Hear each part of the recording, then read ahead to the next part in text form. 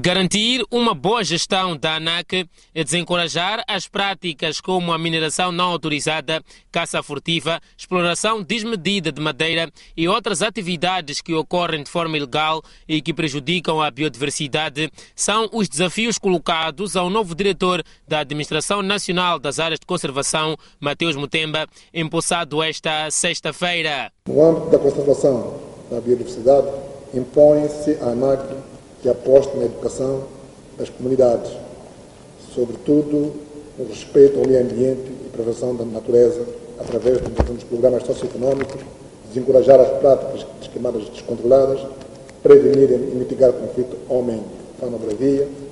e administrar eficazmente os parques e reservas nacionais, as cotadas oficiais, fazendo bravio e demais áreas de conservação. Desafios que o empossado diz estar pronto para encarar e, e é preciso trabalhar com todas as outras instituições que têm por mandato uh, trabalhar nesta matéria. Portanto, há uma série de instituições do Estado que têm esta missão, é preciso articular, trabalhar com elas, mas, por outro lado, ao nível das áreas de conservação, que é aonde recai a nossa responsabilidade primária, uma das formas de abordar esta questão é fortalecer a educação, por um lado, e por outro também a fiscalização, para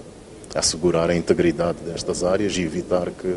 situações de abate de, de árvores e destruição de outros recursos naturais dentro das áreas de conservação possam ter lugar. Mateus Mutemba, novo diretor da Administração Nacional das Áreas de Conservação e substituto de Bartolomeu Souto, tem uma vasta experiência em matérias de conservação, tendo sido administrador do Parque Nacional da Gorongosa.